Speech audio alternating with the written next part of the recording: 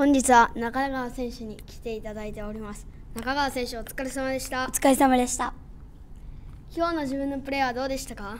えっとドリブルでどんどん抜けあドリブルで抜けたので良かったです。